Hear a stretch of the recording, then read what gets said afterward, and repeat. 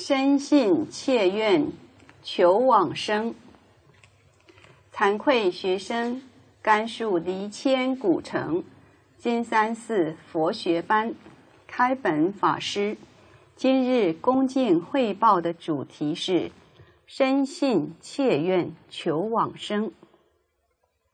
承蒙师父上人慈悲教诲，其老师多年慈护。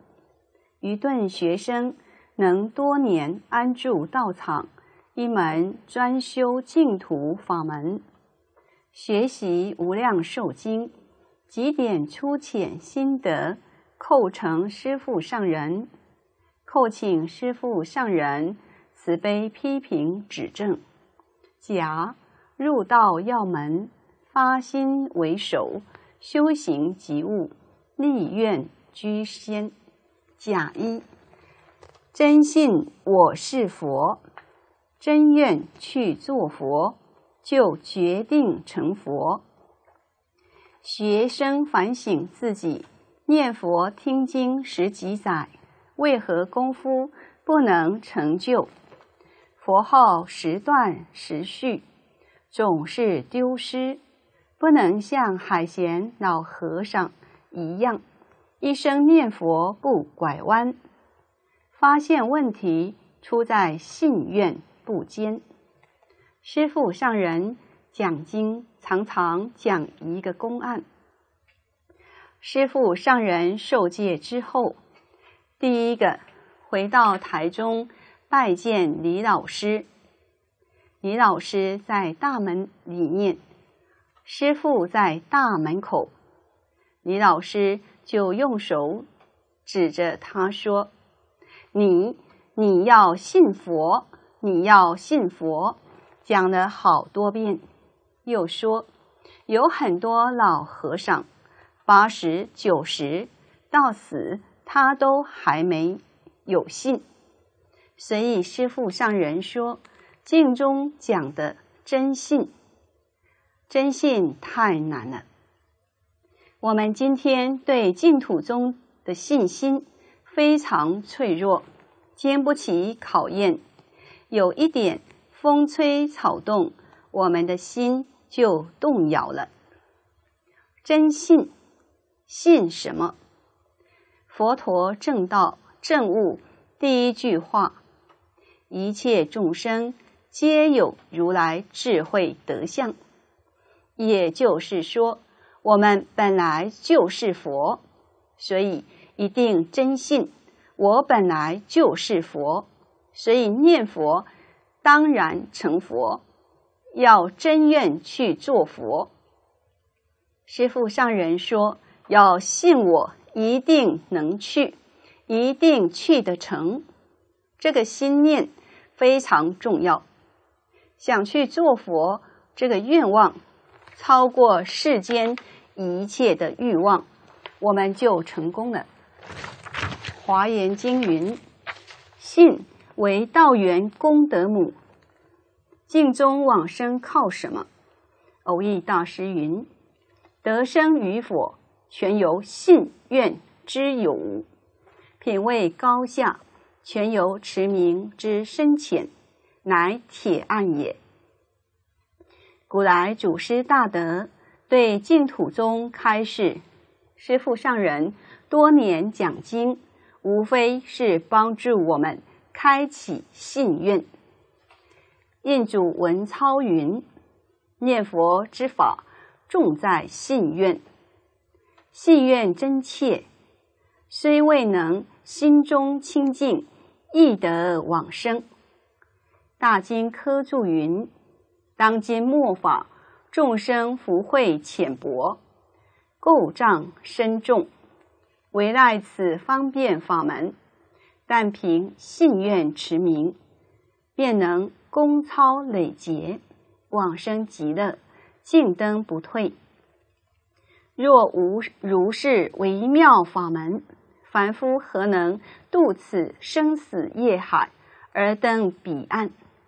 故大悲慈父、良土导师、悯念我等，开此净土法门，妙贤苦乐二土，激扬沉迷众生。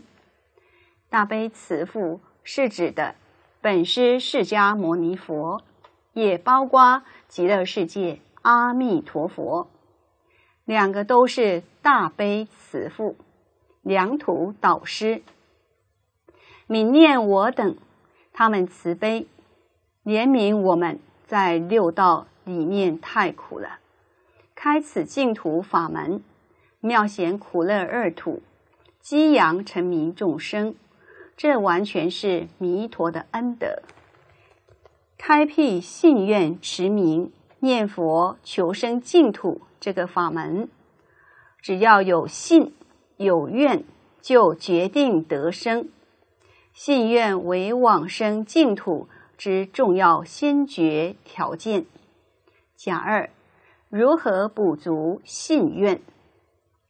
师父上人在科注一百五十四集当中讲到，这世间有两种人，一种善根深厚，你说什么他就相信，他真的没怀疑。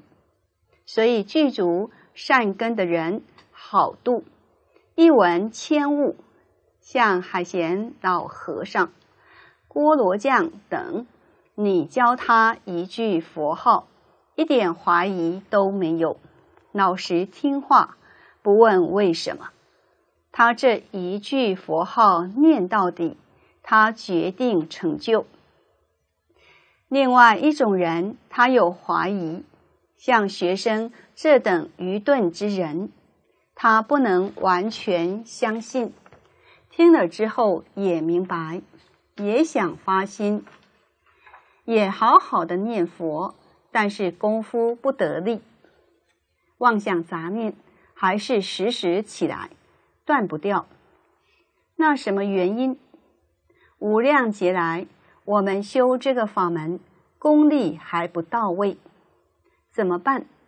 有个方法，勇猛精进，把那个不足的全在这一生补足了。再拼命念，一定要把阿弥陀佛念来，带我去往生。真拼命，那个速度快，那叫真精进，这叫至心精进。古人的例子，宋朝的盈科法师。是个好榜样。这是出家比丘破戒了。他有个好处，相信因果，真怕堕地狱。有人送给他一本《往生传》，他看完后非常羡慕，下定决心把房门关起来，拼命念佛，不分昼夜，不眠不休，念了三天三夜。真诚心所感，把阿弥陀佛真的念来了，十年阳寿不要了，跟阿弥陀佛走了。他是真精进，心至诚恳切，三天信愿补足了。所以我们要学习盈科法师这种精进、至诚恳切的心，在这一句佛号。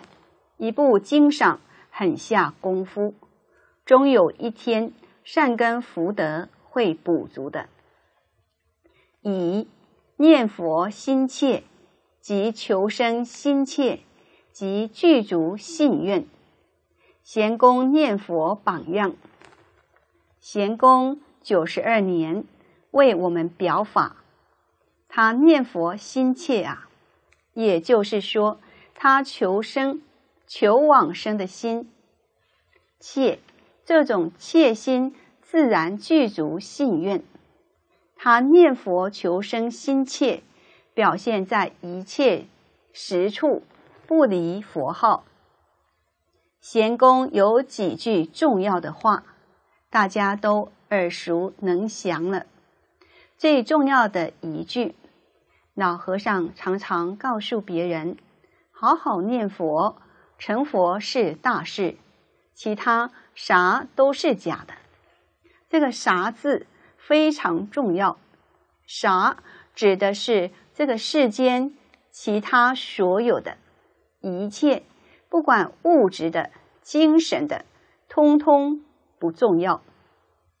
由此可知，老和尚放在心上的，就只有这句“阿弥陀佛”，肯定其他的啥都没有。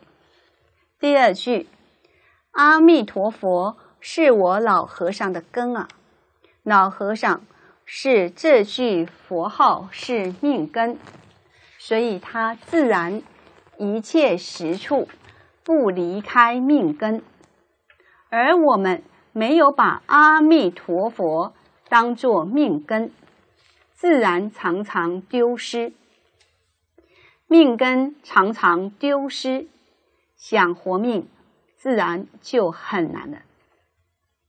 第三，世上无难事，只怕心不专。老和尚钻啊，钻到什么程度？钻到九十二年不改变，钻到只剩一句佛号，不参禅理，不言教，不解经咒又何妨？第四，贤公好几次求阿弥陀佛带他走，阿弥陀佛不肯，让他留下来表法做榜样。好几次和求，我们就能看出老和尚求往生的心恳切至诚，一刻也不愿意留在娑婆，所以他能做到处处念佛，秒秒念佛。第五，贤公一切时处不离念佛。他吃饭念佛，睡觉念佛，走路念佛，上树念佛，离地念佛，摘菜念佛，就连老狼求助也是念佛。文革不让念，心里还是念，真是二六十中佛号不丢失。正如下联居老居士说的。欲得八风吹不动，须从一句定缸中。若问如何出爱河，只有弥陀念得多。他真正做到了大势至菩萨教导我们的一佛念佛，净念相继。丙结语：此生有幸重闻净土法门。实乃多结善根福德累积，又能直遇恩师上人谆谆教诲，为我等苦口婆心讲解大经，不辞辛劳，不畏艰难险阻，并遇其老师多年慈悲护持，使我等有这样安定清净的修学环境，如此圣缘。实是百千万劫难遭遇，学生真正知道珍惜了，此生绝不能再错过这么稀有殊胜的机缘。学生一定谨记师父上人、齐老师教诲，一定承传净土法脉。一个老师，一部大经，一句佛号，一生专修净土。弘扬净土法门，一生以贤公老和尚及诸位祖师大德为榜样，决志求生西方，不退成佛，以报佛恩、师恩、亲恩，一切众生之恩。以上是惭愧学生开本法师粗浅心得，叩请师父上人。慈悲批评指正，无限感恩，阿弥陀佛。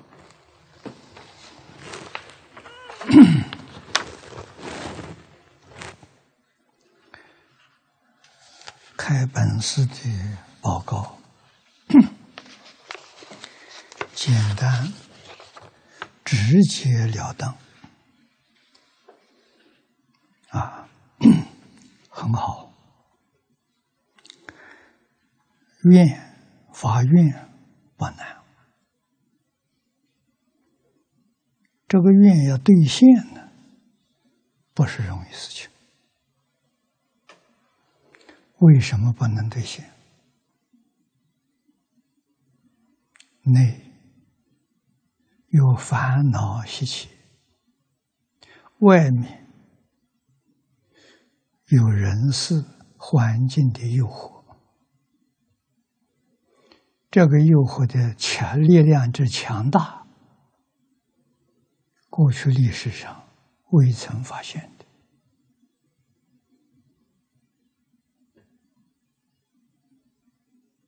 这是我们。不能不知道的，在这个时间修行难。刚才说的过，但是成就了高啊，成就特别高，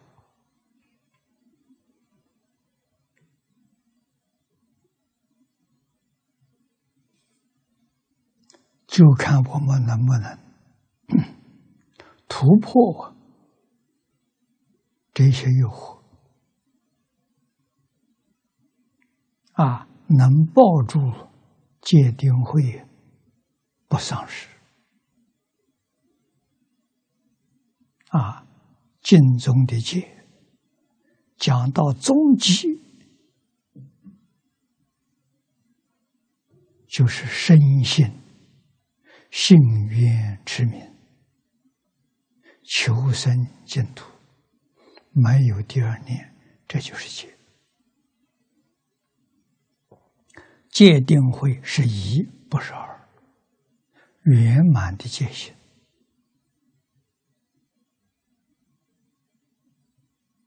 圆满的大定，定在一了。啊，仙公老和尚给我们做榜样。一切时，一切处，无论穿衣吃饭、田里面工作、应付这些信徒，就一句佛号，定在这个佛号里头。啊，这就是念佛三昧。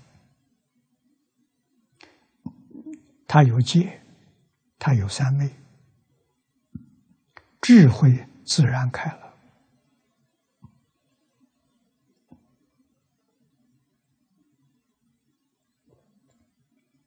啊！他的本性，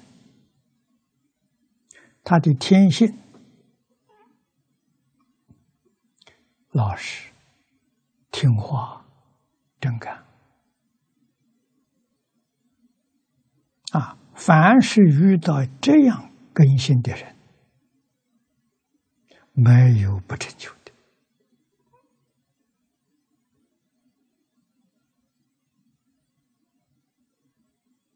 啊！遇到了好老师，老师一看到这样的人，这是成佛的材料啊，大根器啊！知道他一生决定过程。啊，这种人教他一个法门，他能坚持到底，他不拐弯。所以他的师傅传戒功，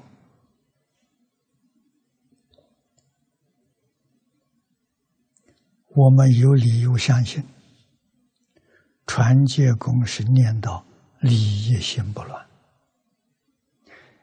就像宗门所说的“大彻大悟，明心见性”，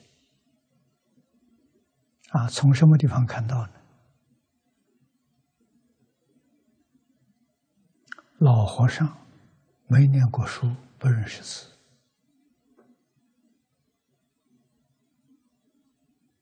一生没有听过人讲经，没有读过一部经典。啊！可是这个这个人具足最好的学佛条件，就是老实听话、真干。所以师父就传给他一句佛号：“南无阿弥陀佛”，嘱咐他一直念下去。他就念了一生，念了九十二年，自在往生，听话了。啊，传他这一句佛号时候，老和尚又说：“明白了，不能乱说，不能说。”不要指手画脚，这什么意思？什么叫明白了？明白了是大彻大悟、明心见性。啊，见性怎么样呢？见性不要说，不能说。啊，老和尚有这一句话了。啊，仙公呢，真开悟了。不是假的，啊，他有圆满的智慧，不说；他有神通，不现。啊，我们细细观察这个碟片，你能看到。啊，我是得到这个碟片之后，第一次。来佛寺的印指是带来。我在一个星期当中看了三十多遍，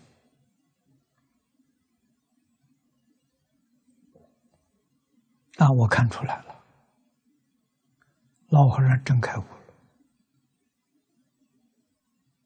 他自己说了一次：“我什么都知道，只是不能说。”人家问他为什么不能说，天机不可泄露，泄露天机。要遭雷打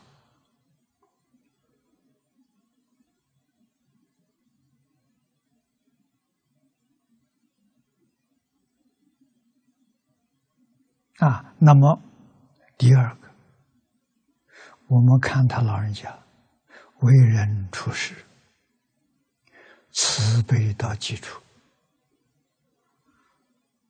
啊，心里头一生没有怨恨过任何人。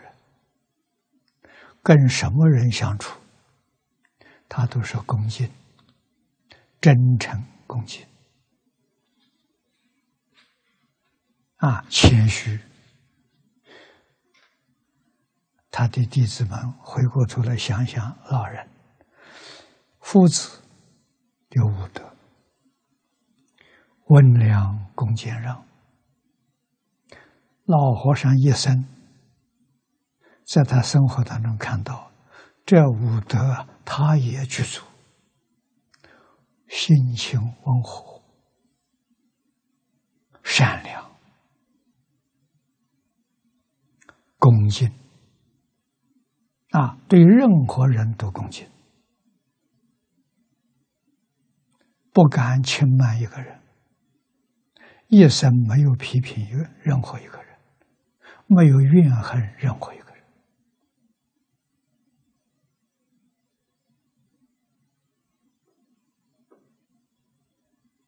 啊！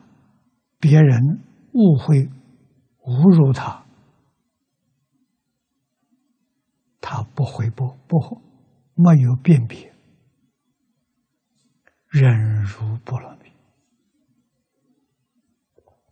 到之后日久天长，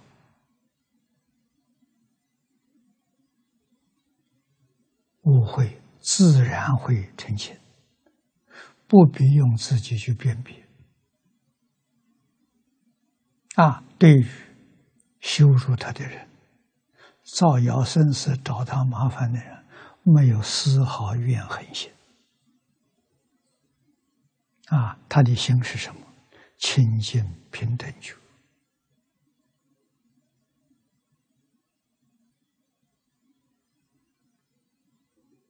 啊，能谦虚，能忍让，样样让别人。自己永远站在后面。啊，对于别人赞叹，没有听说过他回报的。一生，从他出家那天起，九十二年如一日，这是大德大贤。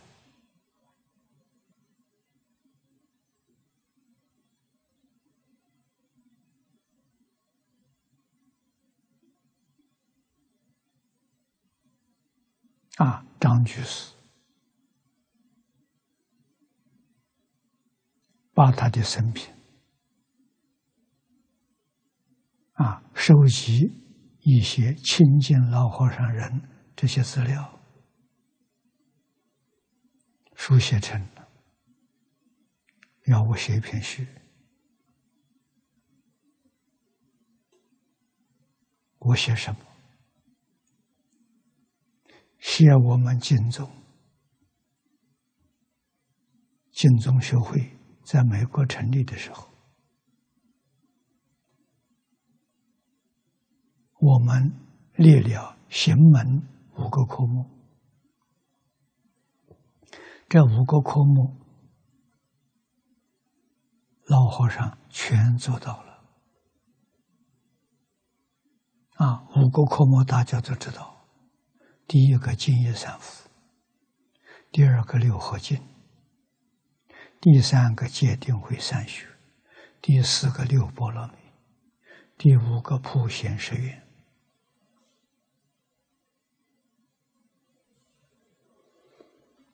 我们提出来没做到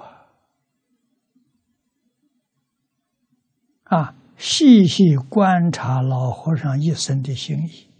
他全做到了，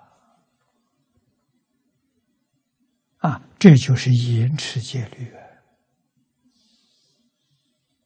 啊，尤其是普贤十愿，普贤十愿难，难在哪？难在心量大，能包容，一般人没有这个心量。啊，所以普贤先生决定发菩提心才能做到，菩提心不发做不到啊！啊，菩提心没有自己，起心动念为别人着想啊，为苦难众生着想啊，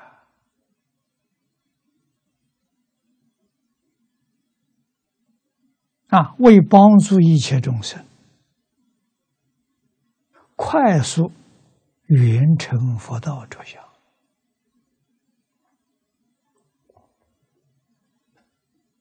我们在老和尚上、老和尚上都看到了。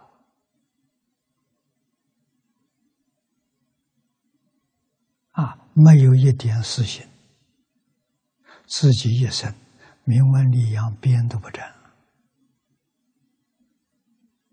啊，真的好事都让别人。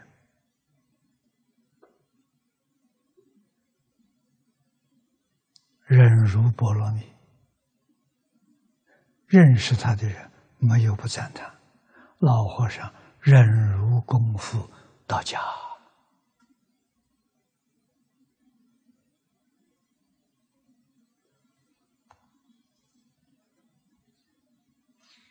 啊！开本法师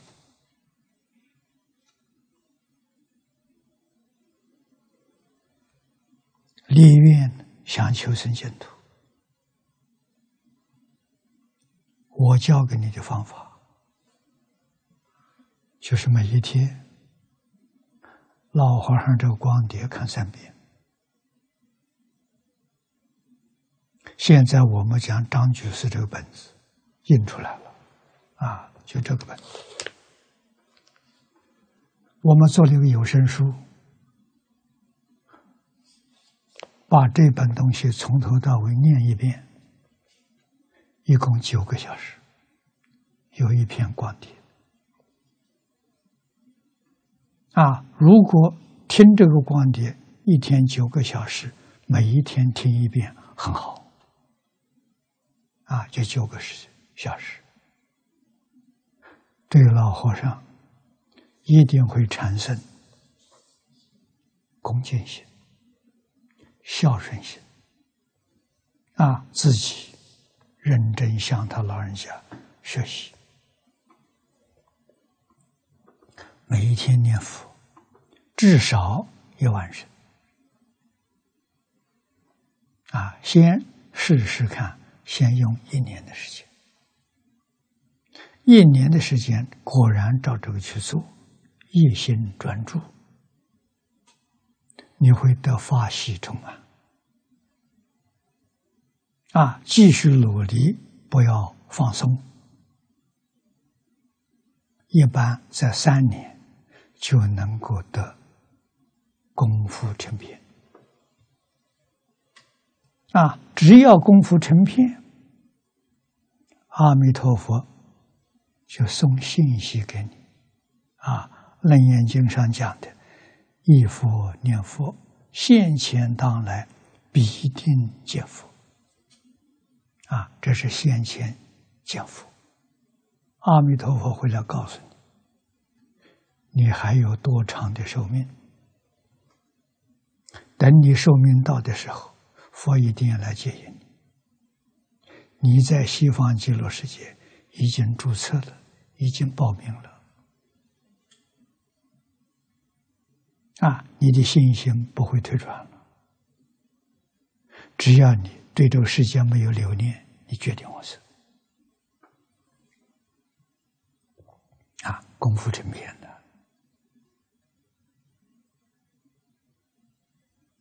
啊。如果你能像海贤老和尚那样那样慈悲，那阿弥陀佛很可能就不带你去了。啊，为什么呢？阿弥陀佛要给任务给你，你常住世间，做个好榜样，给念佛人看看，给学佛人看看。啊，那什么，那要真正一流的忍辱功夫啊，这个功德无量，默默无闻，不知道度多少人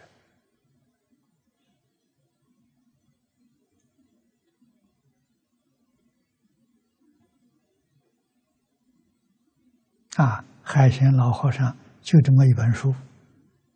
后人给他整理的啊，这一篇光碟，他能读多少人？不止十万，可能有一百万，可能有一千万，这功德还得了啊！大慈菩萨说过，你能真正帮助两个人往生。就比你自己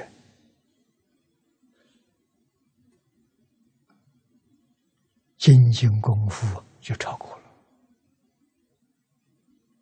你能度上几十个人，你就是菩萨了。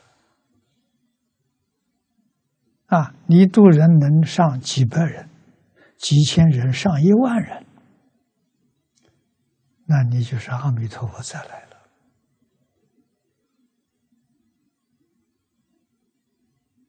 啊，我们利用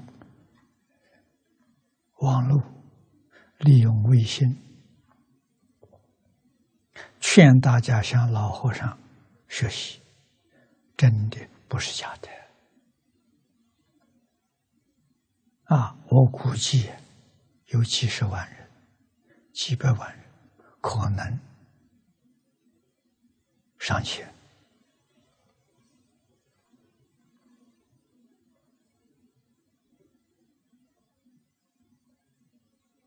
啊，这么多人发心念佛，能往生的人肯定不少。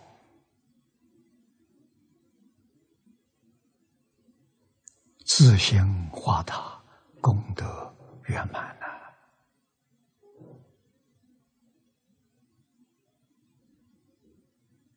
这个世界太乱了。我是应该有五十多年没有看报纸，没有听广播，啊，也没有看电视，我跟媒体隔绝了，啊，我没有时间接触这些东西，我自己只是途径。拜佛、念佛、绕佛啊，讲解啊，一个方向，一个目标，求生净土。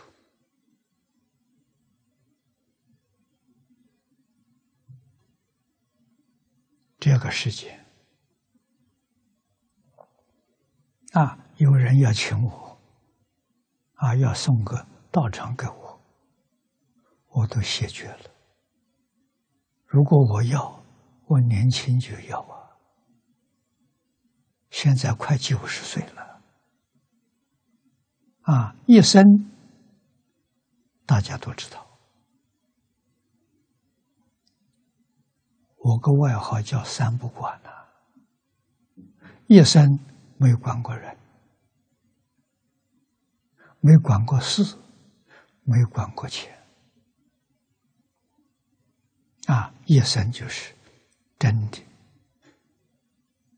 专一讲经教学，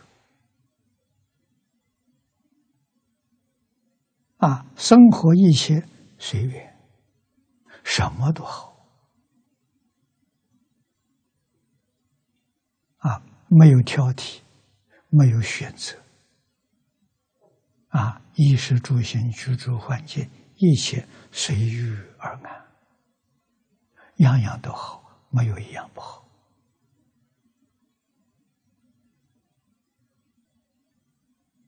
啊，那这样的年龄，我天天想什么？就想往生。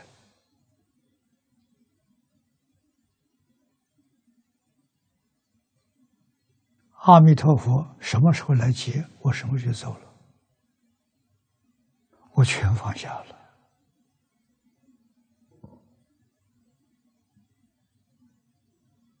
啊，那么留在这个世界，佛留我的，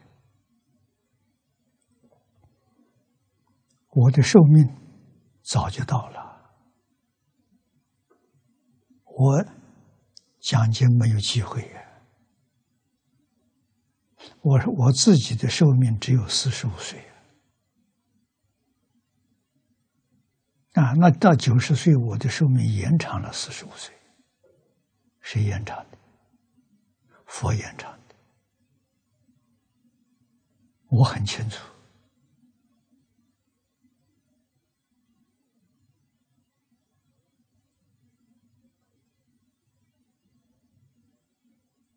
啊，延长是要干什么？讲经的人没有了，太少了。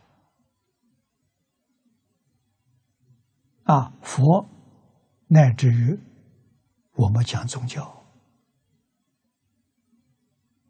我们想一想，每一个宗教最初的创始人，这个教主啊，都是。伟大的社会教育家，哪个不讲经啊？不讲经，经从哪里来的？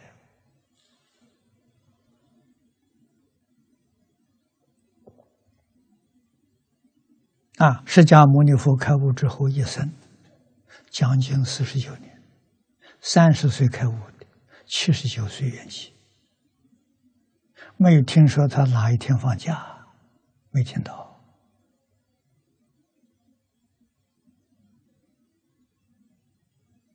讲经教学多重要，所以宗教实实在在讲，每一个宗教都是教育，神圣的教育，圣贤的教育。我们要这样看法，他不迷信啊！啊，为什么把奖金丢掉了？搞金蝉佛寺。我初学佛的时候，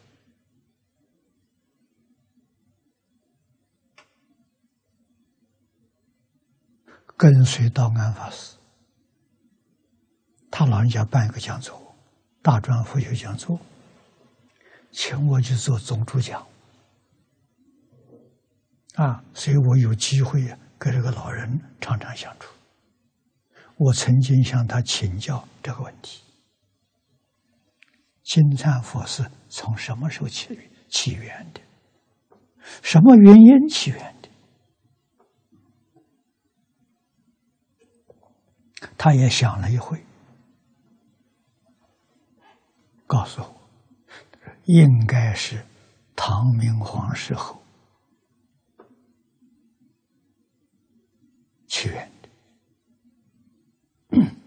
唐明皇遇到安禄山造反，几乎亡国，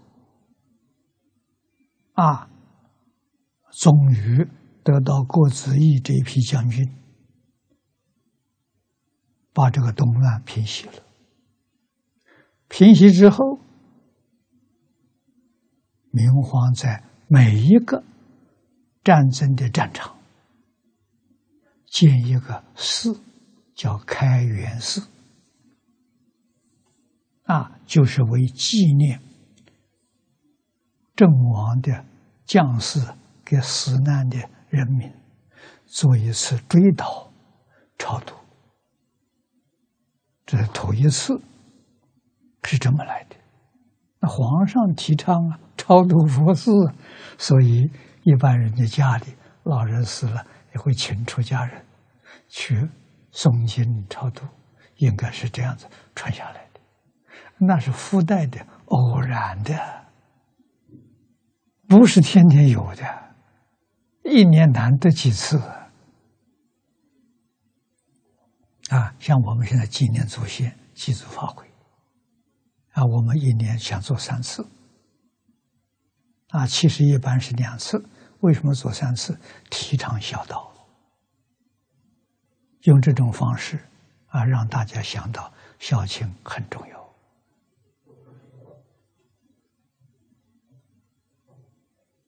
啊，没有想到言道应该是清朝晚年，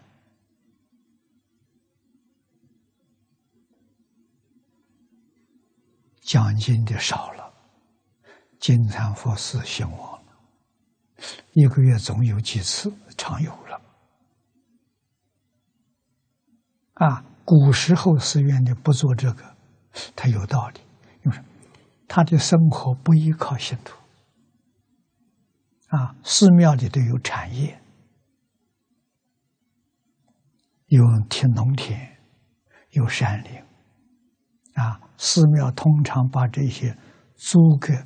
就是承包给农民，农民去耕种，收成的时候分分这个粮食给寺庙，所以寺庙收入是有一定的啊，他不靠信徒，所以寺庙清净了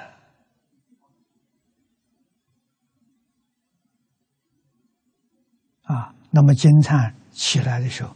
我想是在晚清的末年，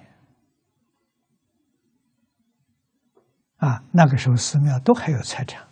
到民国之后，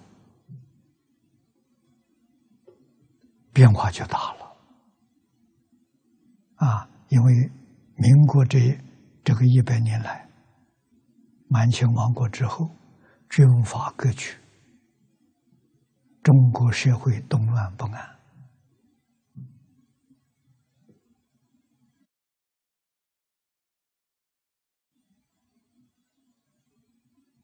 啊，国民政府真正行使政权的时候，啊，算是真正统一，是民国十几年。我出生在那个年代，啊，宗教也没有人顾及，啊，随着他自生自灭，那么以后接着八年抗战，啊，战后，啊，国共的战争。没有得到休息。你了解中国这段历史之后，你就晓得，这社会人民多可怜。啊，生存多么困难。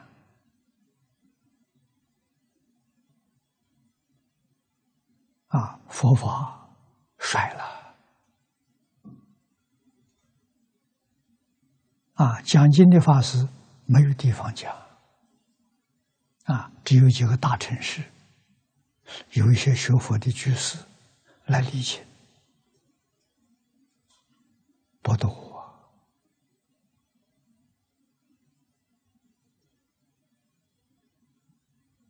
啊！人民共和国建国初期，没人讲经了，国内没有了，海外也没有了，啊。有一些讲经的法师到台湾了，到台湾之后也就搞金蝉佛寺。为什么？收入靠这个。啊，寺院里面没有恒禅，就是没有田地，没有山，完全靠金蝉佛寺的收入。啊，奖金一年。一次，一次大概是七天，当做一个一个法会做，啊，很不容易听到经。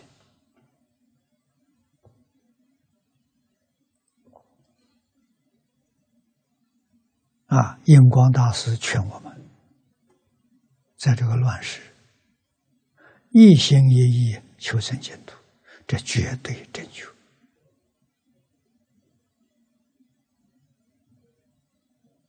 佛教给我们随缘不攀缘啊，普贤随愿教我们随喜功德，这正确的啊。我们讲经很难呐，寺庙里不会请你啊，请你也不过是一年一次，一个星期，那平常怎么办？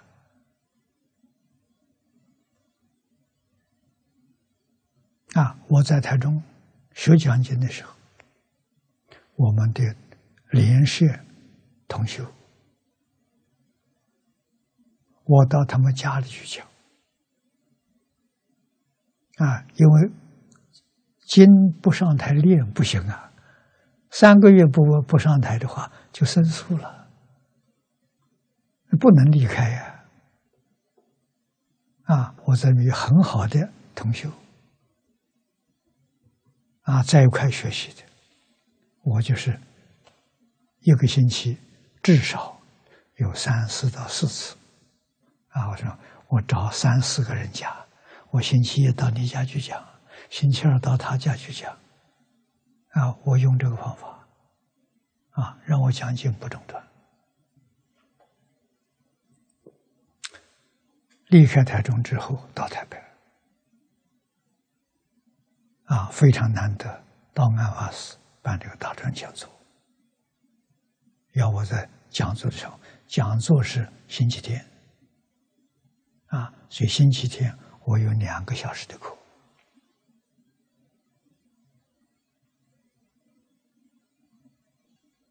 啊，另外，真正学讲经不搞金蝉佛寺，寺庙里的不欢迎。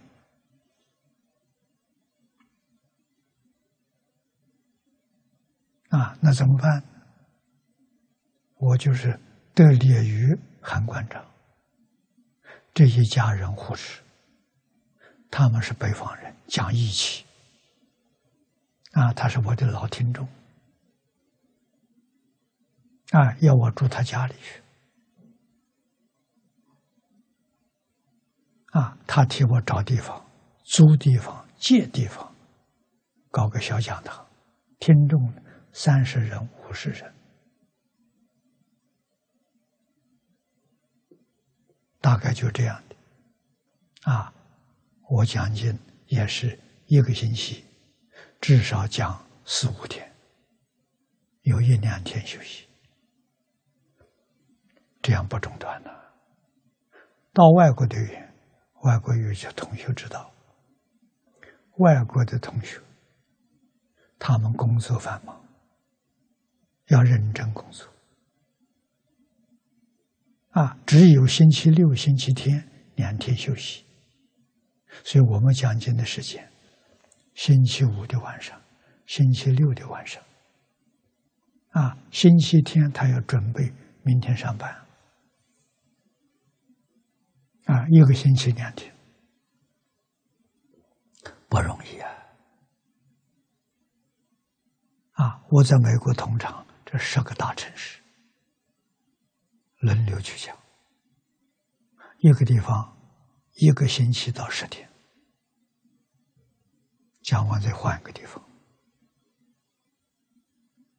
啊，这样子给当地的一些法师道场不产生。干扰啊，他们能接受。常年在一个地方讲经不行了，那他怎么办？我们通通都要考虑到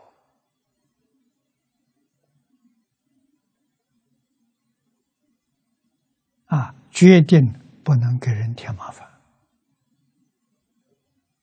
啊，决定不能让他有负担。我们欢欢喜喜啊！那个时候我住在美国时间多啊，包括加拿大十几个道场啊，也是一年去一次，顶多两次，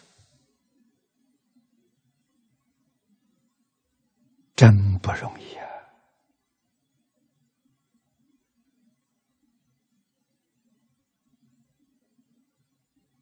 啊，好在我们开辟了网络的道场、卫星电视道场，啊，这我就就有机会天天讲了，啊，讲经没中断，啊，影响也超乎想象之外。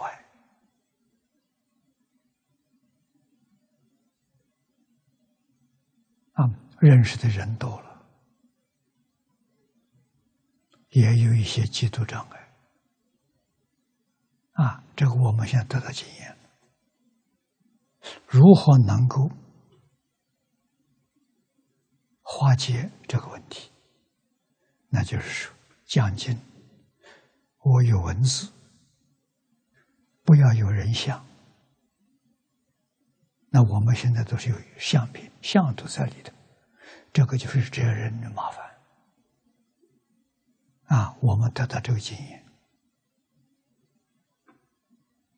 啊，所以我教一些年轻的朋友，不要着相，我们像有声书一样讲经的时候，荧幕上是文字啊，不要有人，免得人家说我们要宣扬自己。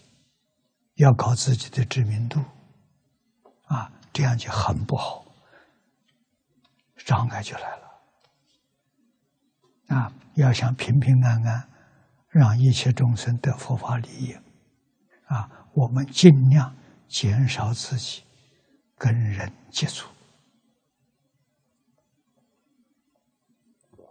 我们在这个时代才能够生存下去。啊，民自古以来，古今中外都没有没有例外的，造忌讳呀。古人说的好，连鬼神都嫉妒啊！啊，一定要知道避免。啊，所以让我想到我们上一代。啊，李老师的著作，方老师、方东梅先生，他们都是著作等身，有没有印书？没有，我稿子都在家里。啊，什么时候拿出去呢？走了以后，有后人替他出版，这样对。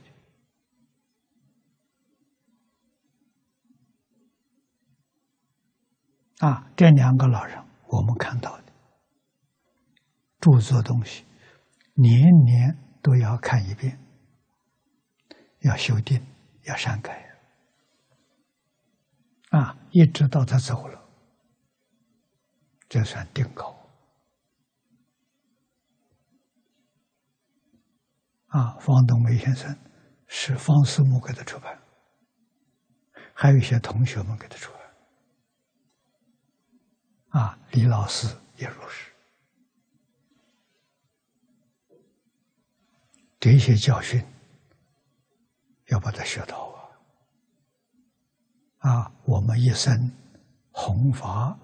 教学就不会遇障碍啊！别人对我们障碍，我们想想，我们错了，我们做的太过分了。我离开新加坡也如是啊！那在新加坡团结宗教搞出名了，那出名，一些人就受不了了。就我就知道错了，但是来不及了啊！所以我到澳洲，这些毛病我就改掉了。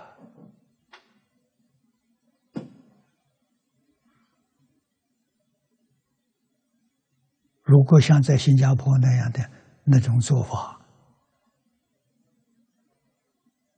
啊，赞叹的人很多，到最后你不能住啊！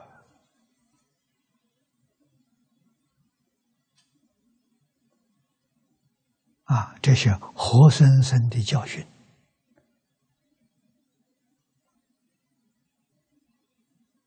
我一生亲自经历的，惹了多少麻烦。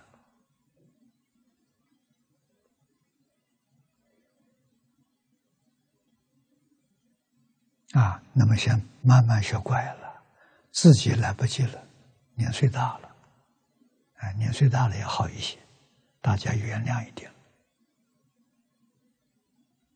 啊，九十岁的人还能活几年？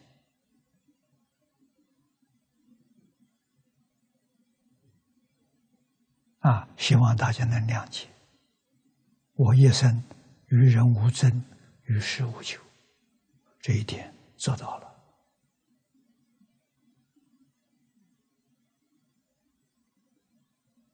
啊，一生全心全力的帮助别人，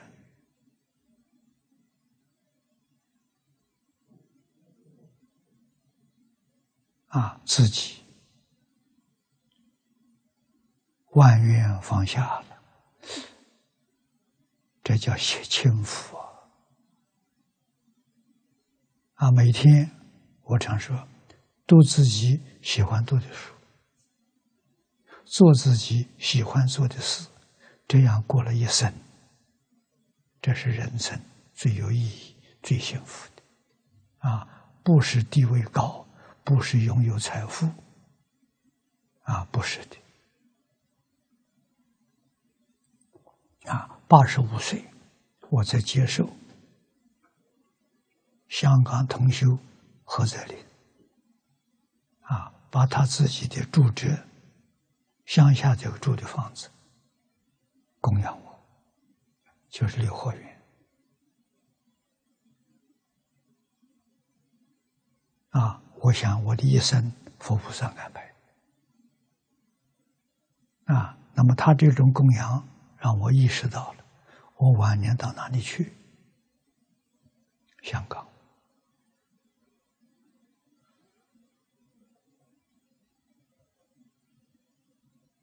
啊，哪里都不去了。啊，这个小地方真正的农村，非常安静，听不到车的声音，听不到人的声音，啊，只听到鸟叫的声音。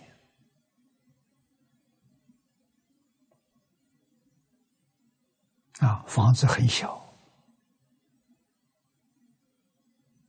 啊，我那两间房子合在一起，大概就是我们这摄影棚这么大，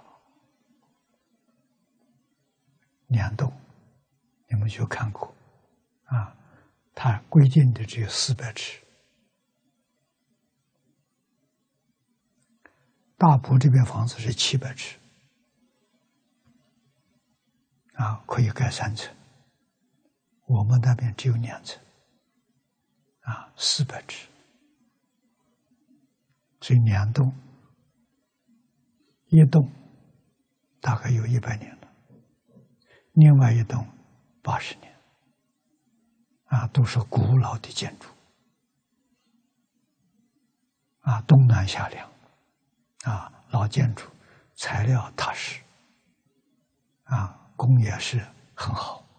啊，墙有这么厚，啊，所以隔热很有效，啊，冬暖夏凉。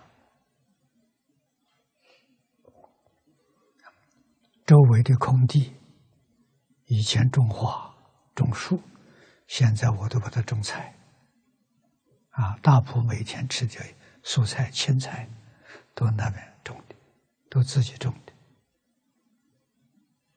啊，晚上我回去，菜就放在车上就带来了。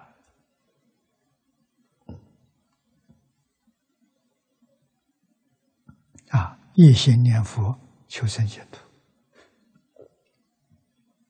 别无二念呐，这才行。啊，无论在什么环境里面，顺境逆境，随缘。那就是修行啊！顺境里面，善缘顺境，没有贪念，完全放下啊！逆缘、逆境、恶缘，不生嗔恚，在这里修什么？修清净平等觉。用什么方法？一句佛号啊！这一句佛号不间断，我们提倡一部几部经，无量寿经会几本啊？经的注解一部够了。黄念祖老居士记住一句佛号阿弥陀佛。我们这一生决定生净土，啊，想学什么东西，时间通通都过去了，啊，到极乐世界无量寿，到极乐世界一切圆满，这就对了。好，我们看底下一位，尊敬的师父上人，尊敬的诸位法师，大德同修。大家好，阿弥陀佛。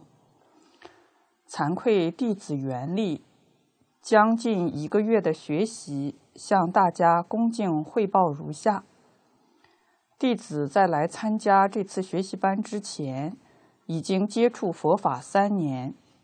这三年里，学的更多的是传统文化，所以还停留在断恶修善、做一个好人、积累人天福报的阶段。这一个月的学习让弟子明白，做一个好人，圆满的结果只能上天道，还是脱离不了六道轮回。人生难得，佛法难闻。既然有幸得人生闻佛法，就一定要好好珍惜，把握此次机会，当生成就，往生西方极乐世界，成佛做佛。这一个月的学习使弟子明白，往生极乐世界的目标是接下来此生唯一的方向和行动的指南。现具体汇报如下：一大慈悲父阿弥陀佛，只有投入您的怀抱，我才永远不再孤单。弟子上大学和分配工作，都在父母所在的城市，后调往深圳工作，恰逢父母临近退休。退休后，即把他们接到深圳一起生活。每当工作中产生烦恼、压力，甚至痛苦，一回到父母身边，心都会踏实很多。他们晚年身体也一直很好，在深圳二十多年，真的没考虑过有一天他们会离开弟子，无常真的降临了。二零一二年至二零一四年，不到两年的时间，他们突然双双离去。前所未有的孤单吞噬着我的心，好像这颗心已随他们而去。在聆听辅导员朗诵《大慈悲赋》那一刻，我的心被深深触动。在六道轮回里，我们永远是孤儿。只有往生西方极乐世界，投入阿弥陀佛的怀抱，我们的心才有真正的依托，永远不再孤单。二成佛才是圆满孝道。这三年时间，弟子对孝的认识在逐渐提升，从曾经只知道孝父母之身，到逐渐努力孝父母之心、父母之志、父母之慧。当陪伴父母走完他们此生最后一刻，一位同修对弟子说：“你的孝道做圆满了。”那一刻，弟子很茫然，似乎预示着从此以后孝已与弟子无关。也许在外人眼里，弟子可以松口气了，可自己内心感受的却是悲哀和失落。在二零一五年一月十六日晚上，孝亲尊师生日晚会，电视荧幕上“成佛才是圆满孝道”这几个大字映入眼帘那一刻，内心一阵颤动。晚会的动人场面演绎了这八个字的内涵和深意，让弟子豁然清醒，自己又有了孝的目标、方向和动力。那就是成佛。三，如何才能生死心切？过去一直生不起生死心，自然谈不上生死心切。原因应该是贪恋人生吧。正如一个紧抓住树藤掉在悬崖上的人，下面是万丈深渊，随时都有坠入万丈深渊、粉身碎骨的危险。可此人却贪食着顺树藤流下来的蜂蜜，全然不知死之将至。我不就是这样的人吗？人生的痛苦似乎已经麻木，全当不存在。师父上人苦口婆心的教诲，唤醒了弟子，又给到我们一条此生解脱之路——净土法门。我们是何等的幸运！学习中，以下三个方面帮助弟子真正开始对往生西方极乐世界信真愿切。第一，以前只是诵诵《无量寿经》，并没有认真完整的听师父上人讲解这部经。这次弟子很珍惜来之不易的学习机会，听得很认真，收获很大。尤其对极乐世界的庄严美好和不可思议，产生了无尽的向往。回顾自己五十二年的人生经历，跌跌撞撞，在烦恼痛苦的漩涡中起起伏伏，真为自己悲哀。更坚信极乐世界的存在，真想即刻远离娑婆，往生到阿弥陀佛大愿成就的庄严美妙国度。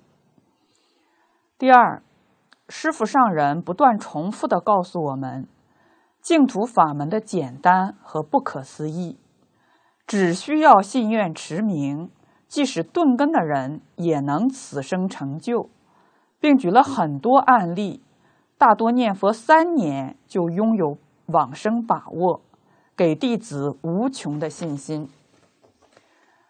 第三，在学习班里不断重复听贤公老和尚光碟和有声书，开始还犯嘀咕，会不会听烦啊？好在勉强自己听话，这次也尝到了听话的好处。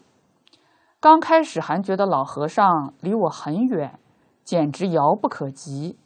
他是上根人，那么听师傅的话，让他一句佛号一直念下去，他就念了九十二年，什么都能放得下，什么都能忍，时时处处心中只有众生，没有自我。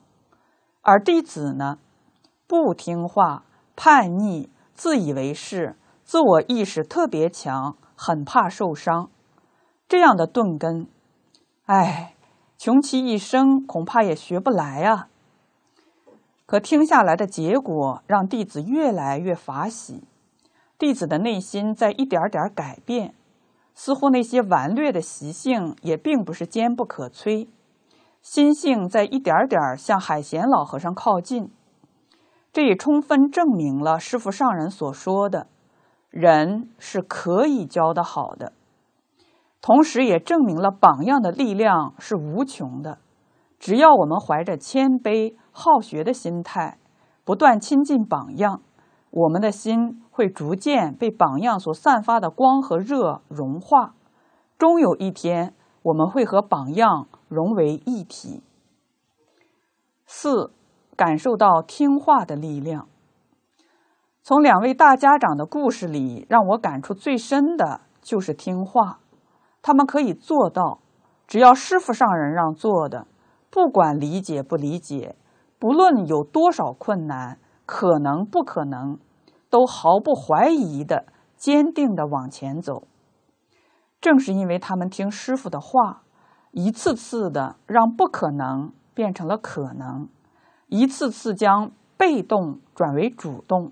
得以成就了大士阁、报恩寺两个庄严美丽的道场，并以师志为己志，承担起培养中国优秀传统文化和佛法的继承与与延续人才的重任。中国的文化和思想可以化解种族矛盾，可以避免世界战争，而这一伟大之举要靠许许多多。深刻领悟、参透文化思想的，并愿淡贺起习主席所提出的中国梦的有识之士，渗透到世界各地去弘扬伟大的中国文化和思想。两位大家长正是为这一伟大梦想默默耕耘者，没有他们老老实实听善知识的话，不会有现在的一切。他们是我们的好榜样，在未来的学佛路上，老老实实听师傅上人的教诲，要做到老实听话。弟子必须放下自己的知见，没有我的存在，同时以百分之百的诚敬心接受善知识的教诲。短短一个月，在人生长河中，只是一瞬间。而这一个月能成为我们命运的转折点，远非坐在教室里学习而能得到的，更在于师父上人、两位大家长、所有的法师和三根班的学长及义工菩萨们身体力行的真实表法。他们每天都在栩栩如生的演绎一个真正佛弟子的形象，他们目光坚毅，充满活力。举手投足之中，将三福、六和、三学、六度、普贤十愿展示于我们眼前。谁说学佛人消极懈怠？他们每天凌晨三点半起床，直至晚间二十二点，三百六十五天，天天如此。他们的精进勤奋远超于世间任何行业人群。谁说学佛人悲观避世？他们怀揣的不是个人或一个家，一个企业、一个团体，而胸怀世界及宇宙。纵观此生及无穷尽的未来，他们以佛智为己智，希望所有众众生从迷惑颠倒中解脱出来，恢复本有的智慧，真正离苦得乐。他们放弃小爱，是为了拥抱奉献如佛陀般慈悲的大爱；他们舍弃家庭的天伦之乐及。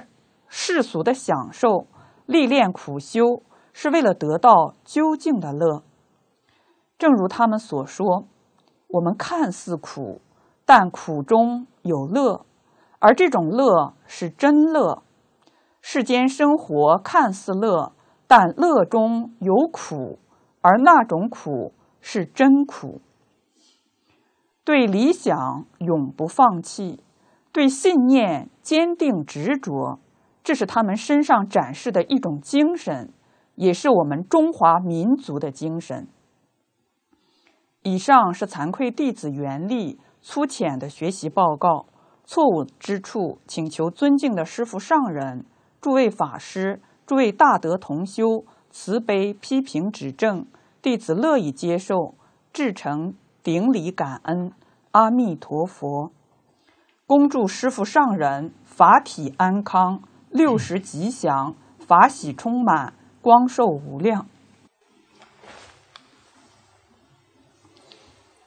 我们听了袁立的报告，立刻就能感到这是个有善根的人啊！在这个大时代，非常难得，一接触佛法了。就能生欢喜心，啊，就能认真学习，这是不容易的事情，啊，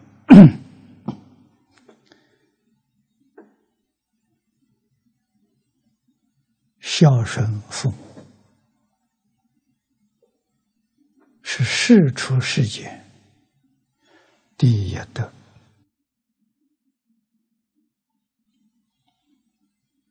啊，那么你的信心从哪来的？从孝心演变出来的。啊，这个是佛法所说的善根。善根是过去生中修成的。啊，这一生遇到善法，能生善心。啊，那么我们相信，如《大乘经》上所说，过去生中曾经供养无量诸佛如来，这一生当中又遇到净宗的，得诸佛加持，啊，就能升起心愿。啊，欢喜念佛求生净土，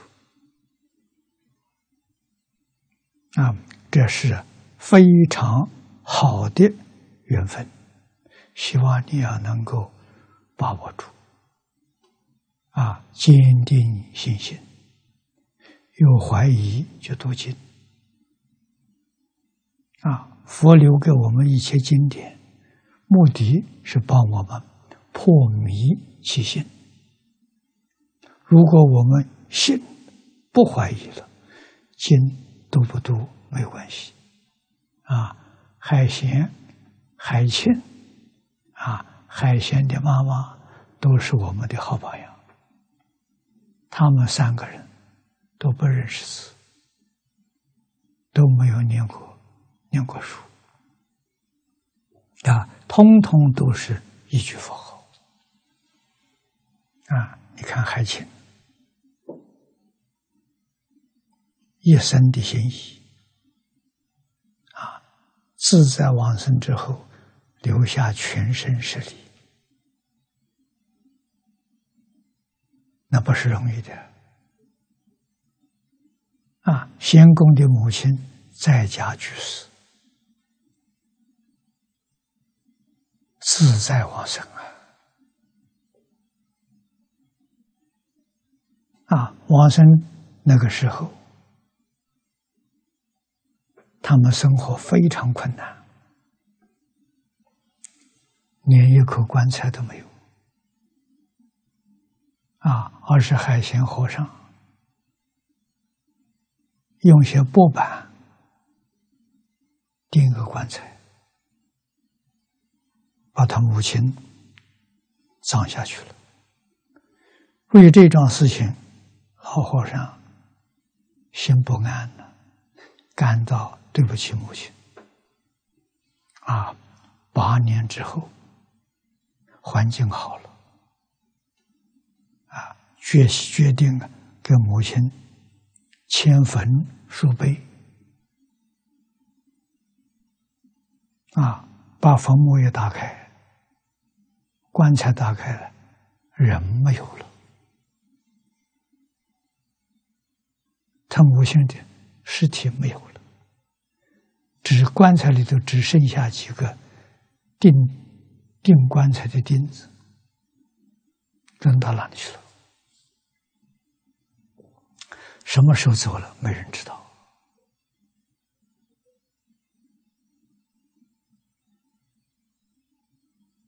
啊，类似这种情形，过去历史上有记载的。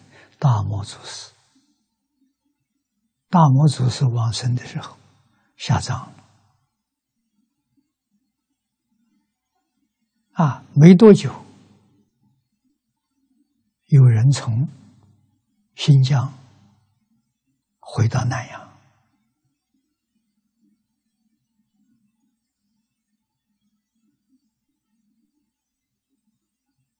啊，告诉这边的同学，他在新疆遇到大魔祖师，啊，大魔祖师很潇洒，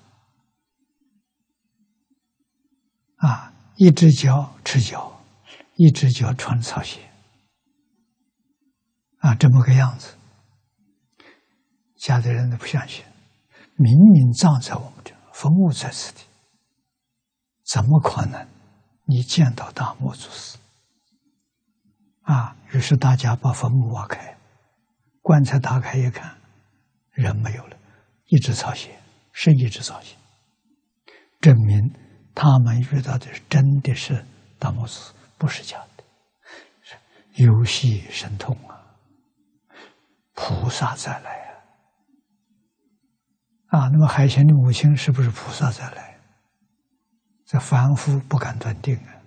总之，不是凡人啊，绝对不是普通人，都来表法，都是佛菩萨嘱咐他们来的。啊，一个你不相信，三个，你能不信吗？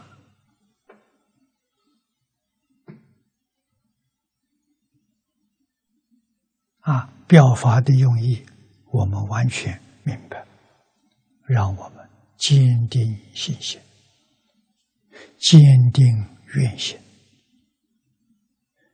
一个目标，一个方向，决定要在这一生当中。往生极乐世界，圆满无上菩提，这个机会多难得，这缘分多么殊胜啊！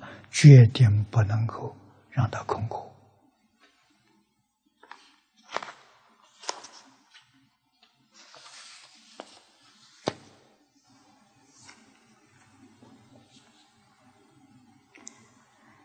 尊敬的师父上人，尊敬的诸位法师，尊敬的诸位大德同修，大家好，阿弥陀佛。惭愧弟子谢庆菊，今天向大家恭敬汇报的主题是：参加大士阁首届净土大经科注学习班，学习坚定往生信心。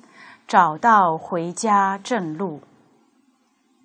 大师阁首届净土大经科注学习班即将结束，弟子回想这三十天的生活和学习，难以用语言表达。三十天是人生的一刹那，但这三十天对惭愧弟子刻骨铭心。通过三十天的听经闻法，特别是师父上人的开示，引导弟子修行走上正路，确立了弟子修行目标：老实、听话、真干，以师父上人。海贤老和尚为榜样，扎扎实实一部无量寿经，一句佛号，落实在生活中，不投机取巧，生死路上靠近阿弥陀佛，放下身心世界，不换题目，一个方向，往生西方极乐世界，一个目标。亲近阿弥陀佛。刚来大士阁的几天，弟子一直是激动、感恩，心是浮躁的。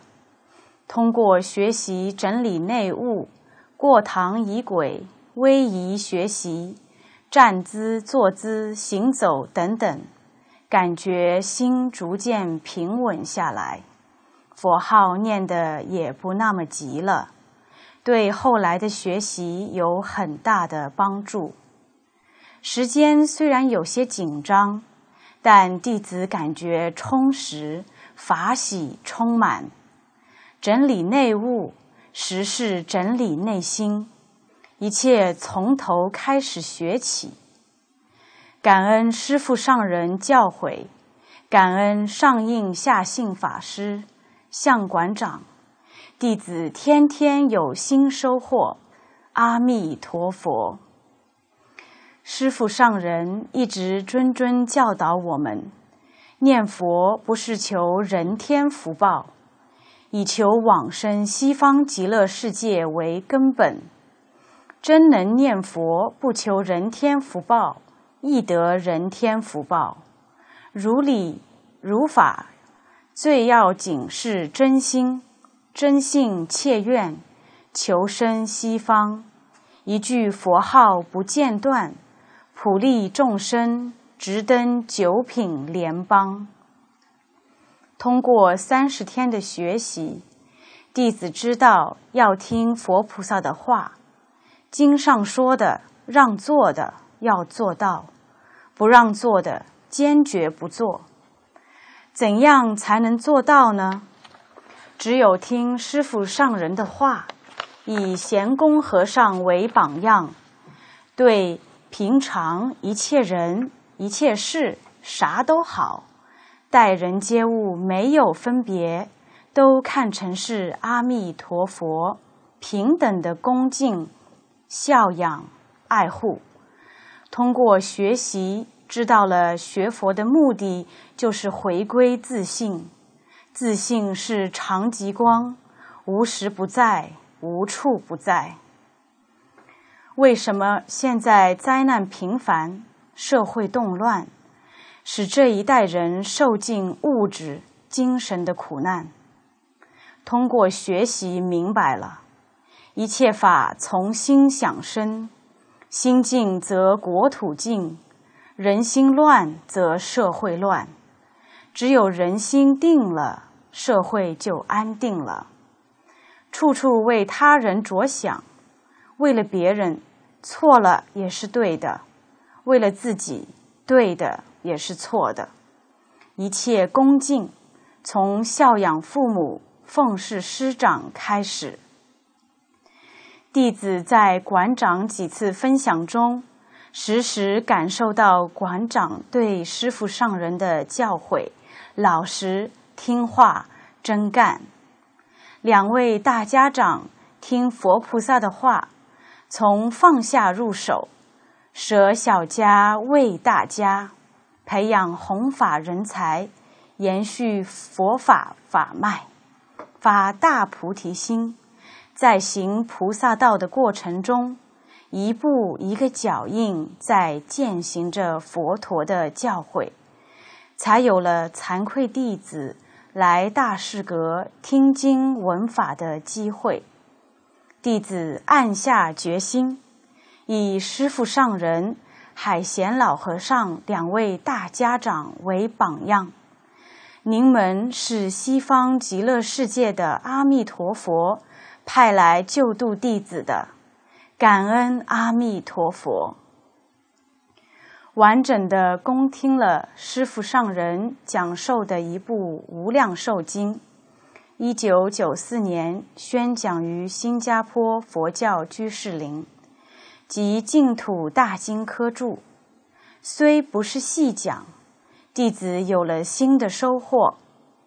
无量寿经是为救度末法九千年业障深重的六道苦难众生，了脱生死、超凡入圣的一部大经。西方极乐世界。是阿弥陀佛自信所现，真心所现。我们的自信与阿弥陀佛是一个自信。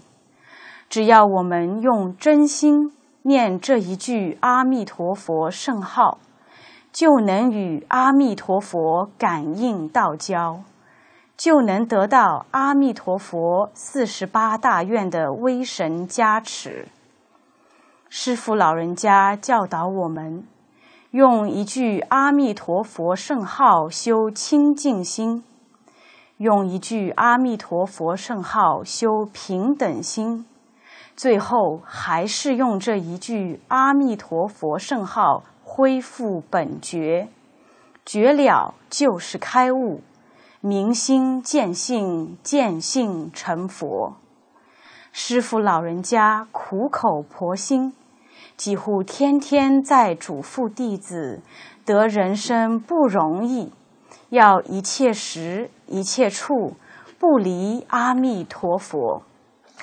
在日常生活中，在六根接触六尘中修行，眼见色看得清楚，耳闻声听得清楚，鼻嗅香，舌尝味。酸甜苦辣清清楚楚，这是智慧，不着相，心里只有一句阿弥陀佛。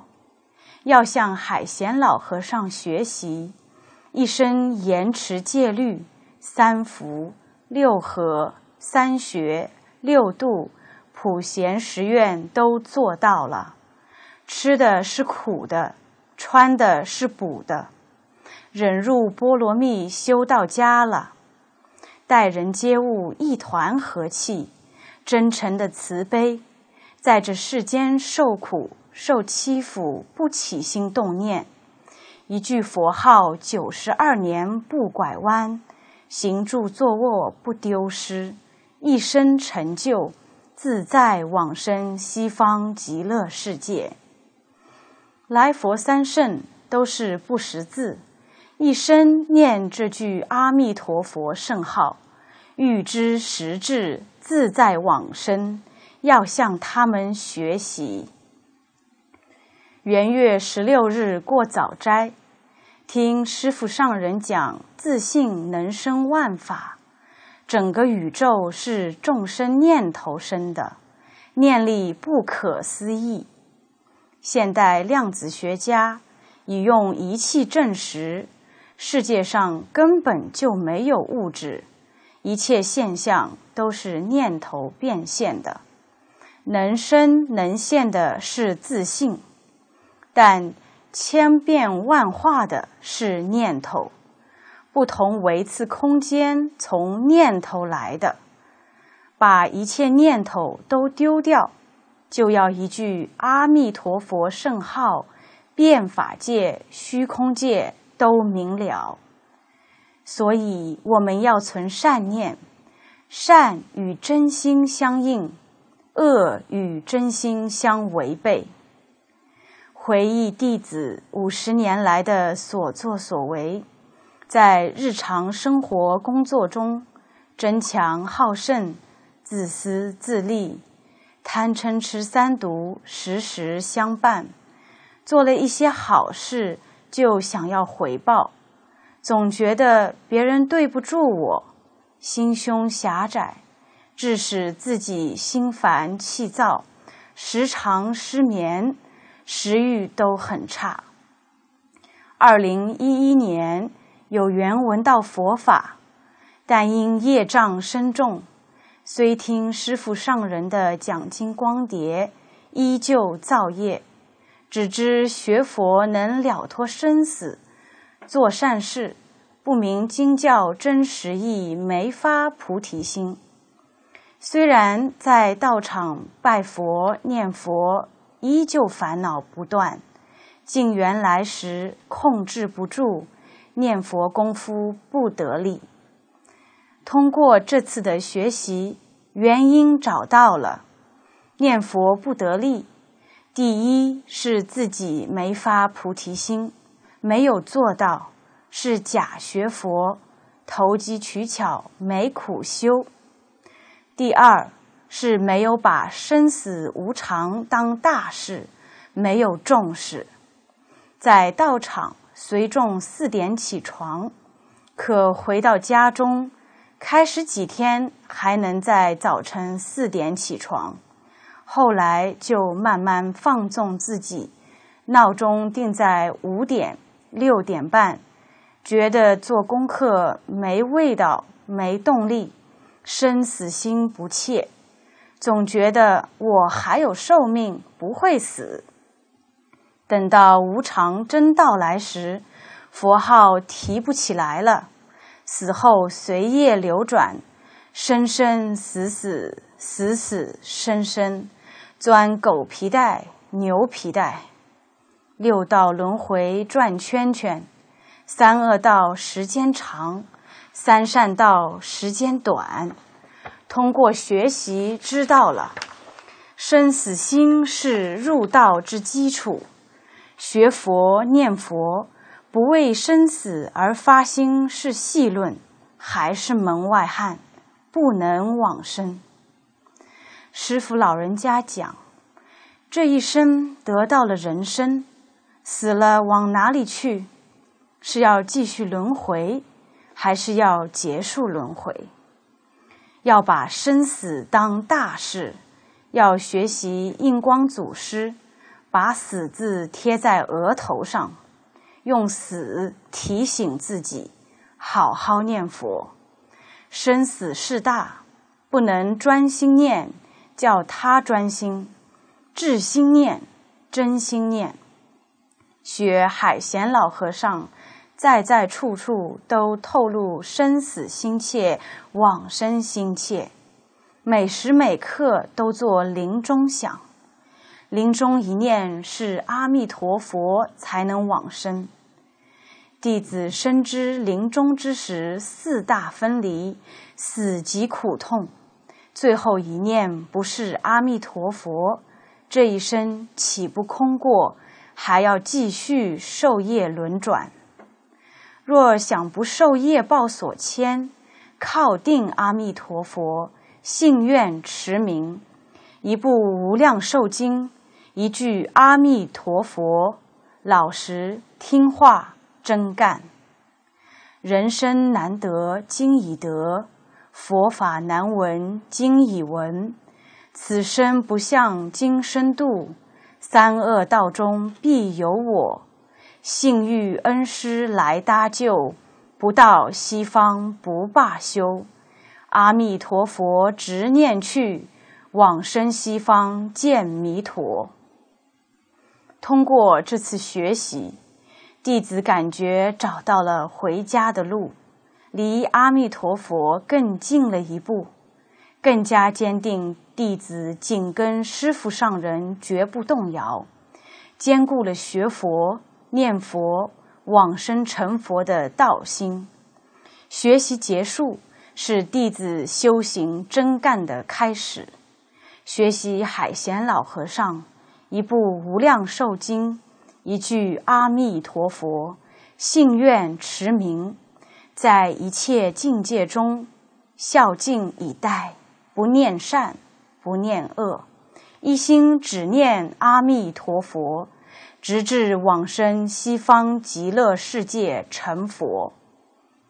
以上是惭愧弟子谢庆菊这次参加学习后的体会，向师父上人、上应下信法师、向馆长汇报到此。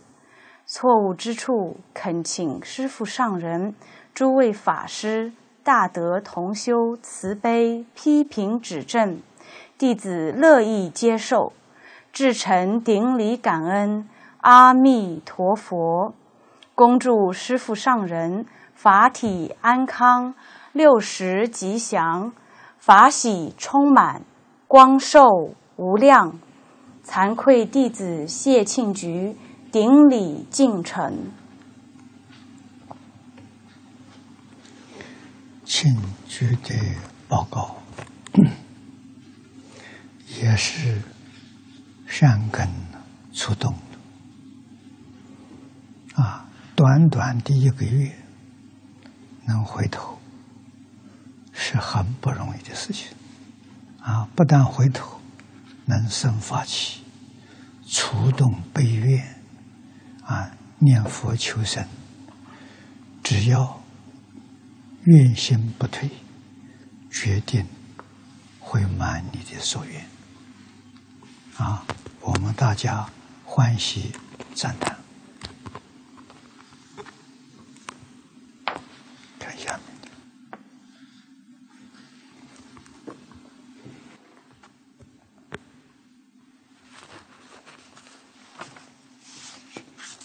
尊敬的师父上人，尊敬的诸位法师、大德同修，大家好，阿弥陀佛。惭愧弟子陈月胜，今天向大家恭敬汇报的主题是：一句佛号，一部无量寿经，不换题目，发大愿心，勇猛精进，功夫成片，再努力。大士阁首届净土大经科注学习班三十天的修学即将结束，弟子能有幸参加这次学习，是自己还有那么点福报。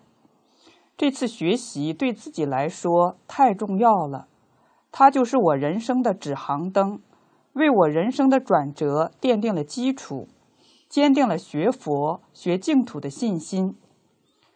师父上人给我们首届净土大经科注学习班的开示中讲到，这个班还要办，今天山东，明天山西。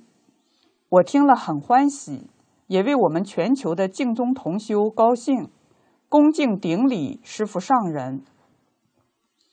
弟子学习传统文化有几年时间，在传统文化老师们的帮助和开导下。在聆听师父上人的开示中，走上了学佛之路。我明白了佛教是教育，知道了学佛是人生最高的享受，激起了弟子学佛的心。没有这次学习班的学习，弟子对学佛的信心不会这样的坚定。净土大经科注学习班的学习，让弟子真正的理解知道了。佛法是开显宇宙人生真相的大智慧，是明了人与人之间、人与社会之间、人与大自然之间的智慧。以前听经没听明白，这次学习学明白了。在学习中，那种求知欲、那种自觉主动学习的劲头，是自己在这一生之中第一次显现。要抓住这次学习的契机，把这一个月学习的劲头坚持下去。参加寺院的学习生活，与法师一样作息时间，一样的过斋，一起学习，让弟子真实体验了什么是教育的佛教。一个月的学习生活是紧张快乐的，是自觉性的学习，在法师们的带领下。我们能自觉的早起，自觉的整理内务，自觉的打扫卫生，自觉的学习。法师们引导我们做的任何工作，都是自己发自内心愿意做的。自己二零一五年就五十岁了，大半的人生已经走过。这一个月来，自己几次回想五十年的人生，都学了些什么，干了些什么？有几件事情是自己发自内心、真诚自觉去做的？学没学到智慧？干没干出积功累德的事，能利益大众的事？这一个月的学习生活是弟子人生真正修行的开始。虽然我学佛的时间不长，我有了相由心生、境随心转的体悟。从学习传统文化到学佛，再到参加这次净土大经科注学习班，有五年的时间。观自己的内心。以前自己的澄净恭敬是不实的，有染污的，是假的。经过这次修学，我体会到自己的真心被打开了。现在的真诚和恭敬是发自内心的，是出自真心的。通过一个月的学习，自己学明白了，最重要的是修我身、我口、我意。学佛修行是修自己，其他任何事一切随缘，有因有缘能结果，有因无缘不成事。到大师阁学习是来度自己的，其他都是虚妄的。以前在家学佛是在盲修瞎练，师傅上人的经教常常听，就是不能契入。师傅的经教自己总听不明白。原因到底在哪里？经过这次学习，弟子找到了：一恭敬心、诚敬心是假的，不是发自内心的。嘴上学佛了，心里没有真信佛。要做到师傅教导的，看一切人事物都是佛菩萨，一切男子是我父，一切女人是我母。这是我回去后从家人开始要认真落实的。学佛不老实、不听话，是自己身上的大问题。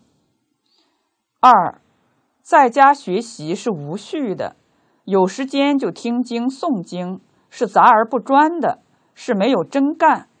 自己的贪心经常作怪，没有学佛成佛的愿心，没有与阿弥陀佛的心愿相通。也不知道怎样发愿，也发不出自己的真心愿心。通过学习以后，知道了真信切愿要去西方极乐世界见阿弥陀佛的心，就是菩提心。三，修行要真干。三十天的学习，打开了自己的真心。一句佛号，一部无量寿经。决定不换题目，诵经、听经、拜佛，定时加量，练就一句佛号不离心的真功夫，让自己达到功夫成片，是弟子学佛第一阶段的目标。丰富多样的课程，让我们快乐的学佛。上印下信法师学佛出家的经历，向馆长的故事，音乐课。生日晚会、威仪练习、各项内务的整理等等，都是自己要学的。以前不知道生活、工作、学习都是佛法，我们去做好每一件小事，细心认真的去体会，都是修戒定慧。看了来佛三圣永思集的光碟，让我有了学佛的榜样，抓住了学习净土的真实利益。一句佛号念到底，学佛成佛是真的，其他都是假的。海贤老和尚这样朴实的真言，自己从前就体会不到。在这里听师傅上人讲经，有法师带领，有这样好的修学环境，有三十六位大德同修的陪伴，真正体会到了精进修学的法喜充满。千言万语道不尽心中的欢喜。通过这次净土大经科注学习班的修学，学佛成佛的目标坚定了。一句佛号，一部无量寿经，回去后老实听话真干，往生西方极乐世界念佛成佛有望。我本是佛，我的障碍去除，佛性将会彰显。以上是惭愧弟子陈月胜粗浅的学习报告，错误之处请求尊敬的师父上人、诸位法师大德同修慈悲批评指正，弟子乐意接受，至诚顶礼，感恩阿弥陀佛。恭祝师父上人法体安康，六十吉祥，法喜充满，光寿无量。听了月生同学的报告，让我们真正感到道场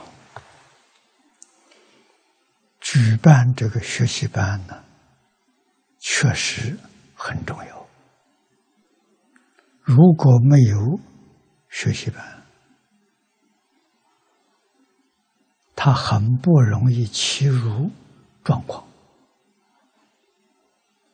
啊。所以这样的学习班呢，在道场是很有必要的啊。我相信我们这个班上的同学也有此同感。啊，所以我们将大经讲解缓和了。本来一天呢，我们是四个小时，现在每天讲经两个小时，另外两个小时就是我们的学习班。我们可以坐下来，啊，谈谈个人学习的心得感想，对于经教的。体悟啊，对于在日常生活当中学习的经过啊，也就是我们常说的练习，天天练习，不断的练习，练习六根接触六尘境界，不起心不动念啊，这个很难，我们真做不到，要有这个心，有这个愿。我们能做到的，在经缘当中不分别、不执着，啊，这就非常难得了。要知道，不分别是阿罗汉、辟支佛，啊，小乘境界；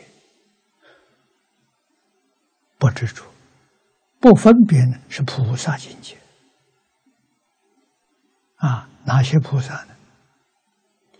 别教，天台宗别教，说住、说行、说回向。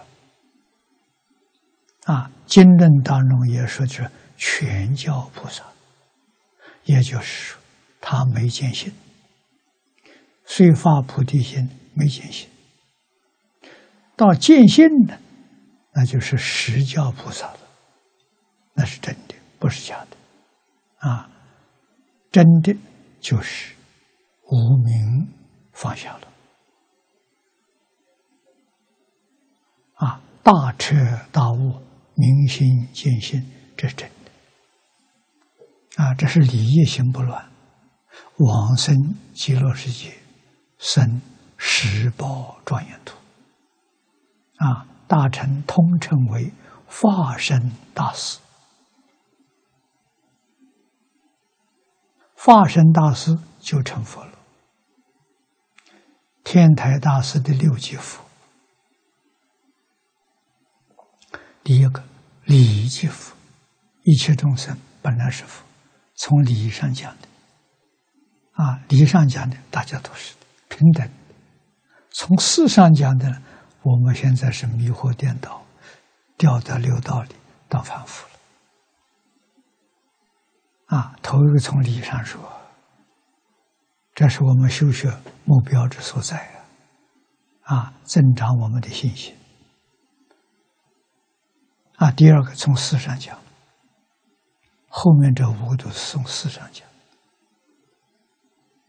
啊。名字即佛，有名无实啊。我们学佛受过三皈依了，有没有做到？没做到啊。三皈依，皈依佛是救而不迷，依旧是迷而不救，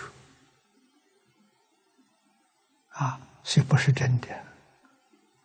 啊，皈依法，法是正知正见，我们现在还是邪知邪见。啊，皈依僧，僧是六根清净，一尘不染，我们六根不清净。啊，还是染污六尘，啊，这个呢，这叫名字即佛，有名无实，啊，这占大多数。啊，第三种呢，观行即佛，这什么功夫得力了？啊，观行即佛，啊，确实能把烦恼佛住。没断，观行讲到最高，就是功夫成片。啊，在净土中管用，它能往生，其他的法门不行。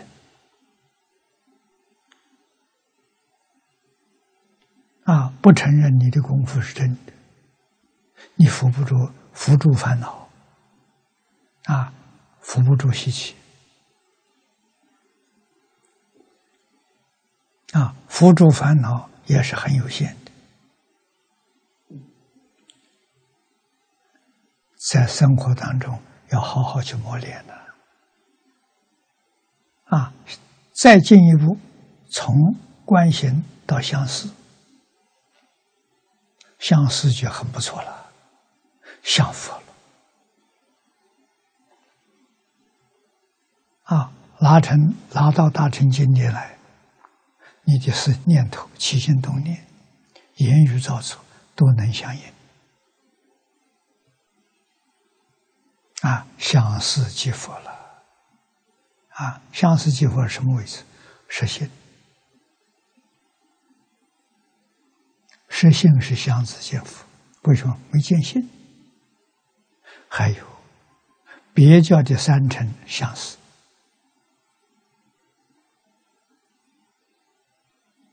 啊，到见性呢？明心见性，那真佛了，叫分真即佛，他是真的，真的他不圆满，啊，真的不圆满，他生在哪里？生在十报庄严土，化身大师，啊，所以他是真佛，真不圆满。为什么不圆满？习气没断，无始无明，习气没断。啊，他升到十报庄严土，在十报庄严土里面断习气，习气没有方法断的，有方法你就堕落了，没有起心动念了。啊，他真正不起心不动念，习气是随其自然，时间久了。就没有了，要多长时间？三个阿僧祇劫啊！所以十报土化身菩萨，他们在十报土居住的时间是三个阿僧祇劫，习气自然断掉了。啊，经常把习气分为四十一品，摄住。是行，是回向，是地，等九啊，四十一品，要三嘎僧七切才断干净。断干净之后，往上提升，究竟即佛，它是真的，究竟圆满了。这个佛不住十八土，住哪里？住长吉光。完全回归长吉光，这几句话很重要，一定要把它记住。为什么？我们自己提升到什么程度，自己清清楚楚，不迷糊啊！所以，总而言之，一句话，大乘佛法就是张家大师，我跟他第一天见面教给我的。大乘佛法什么？看破放下。看破是明了事实真相，放下是放下烦恼习气，一尘不染。啊，放下是功夫。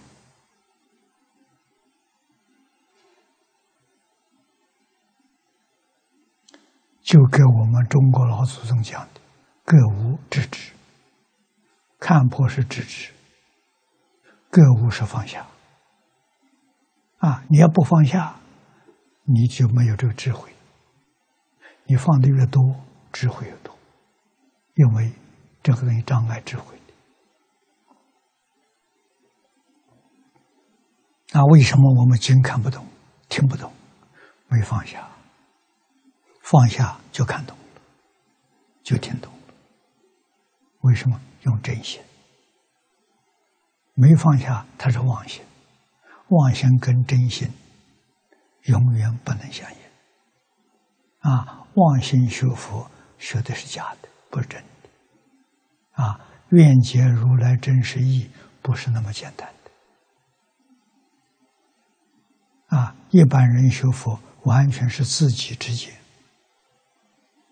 自己以为是怎么样的？如来真实义不知道，什么时候知道？明心见性就知道了。没有见性，怎么知道如来真实义？啊，连古人的注解都看不懂。为什么？古人著书，古人讲经，要求的水平是明心见性，没有开悟。不能讲解，不能著书啊！为什么你不知道佛的真实意？佛的真实意就是自信本具的般若智慧啊！开悟之后，自信智慧向外面流露，流出来跟诸佛完全一样。所以诸佛所说的，你一说全明了。啊，大乘佛法学习的目的就是明心见性。八万四千法门，无量法门，用的方法不一样，用的手段不一样，方向目标完全相同。所以说，法门是相同的。啊，经常告诉我们，法门平等。无有差别，真的是平等。任何一个法门，只要专，只要一，就入门了。啊，你要是二三，就入不进去了，就傻了。啊，《金刚经》上这一句话，我们要记住。啊，我们今天烦恼习气在。只是熏修，知道熏修有好处啊！真正到了专一，没有不开悟的啊！悟有小悟，有大悟，有彻悟。阿罗汉、辟支佛小悟，清净心，你看多成。清净心小悟啊！我们念佛念到功夫成片小悟啊，念到平等心念出来了大悟啊！大悟到最后那个觉清净平等觉觉就是大彻大悟，明心见性，这叫觉啊！这才真正跟。一切诸佛融成一片了啊！一定要达到这个目标。怎么达到？放下，放下啊！为什么？全是假的，事出世间一切法都是假的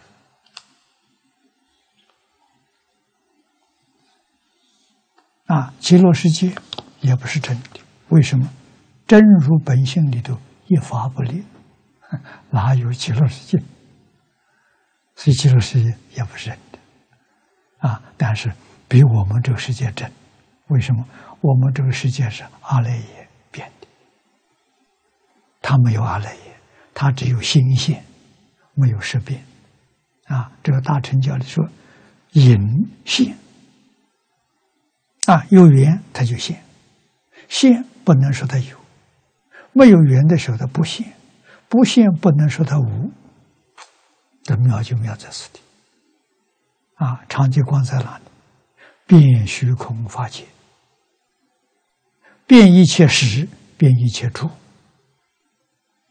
啊，我们都在长久观里头，不知道。啊，诸佛完全明了。啊，我们求阿弥陀佛，只要我们清净心现前，啊，就有感应。清净染污的心是障碍，我们求他的不解不现前。啊，或者他先前我们看不见，我们心心清净了，求他他就现前，我们就看见他。啊，他也看到我们，我们可以交流。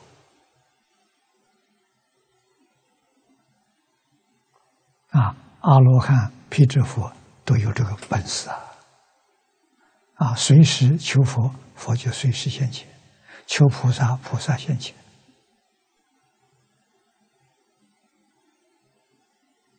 啊，海贤老和尚常常到极乐世界去，常常见阿弥陀佛。为什么？他那功夫成就了，他念到离业心，他的境界是暴徒。啊，所以如果在唐朝那个时代，他就可以现祖师身份出现；要在释迦牟尼佛那个时代。他就是菩萨实现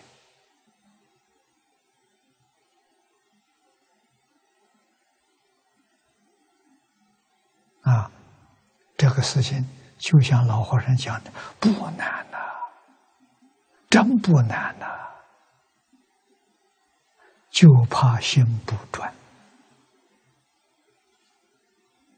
啊！佛法有没有？没有啊，哪来的佛法？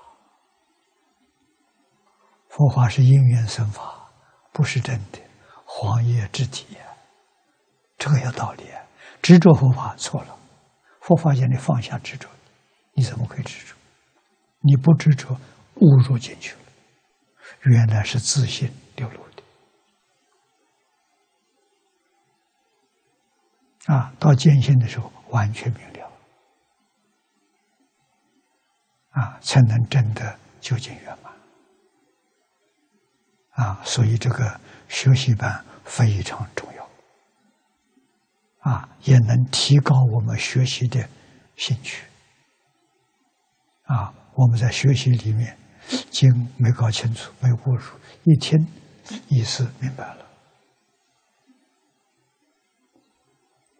啊，常常在一起研究讨论。啊，身形研究不断提升的，这就对了。啊，那我们看到现在，其实道场，道场里头应该要有讲学的，要有研究班、研习班，啊，不是研究，研了要干，习是要干的，要落实。到生活的，真的受用啊！佛法对于现代社会做出真正的贡献，要用这个方法。好，今天时间到了，我们学习到此地。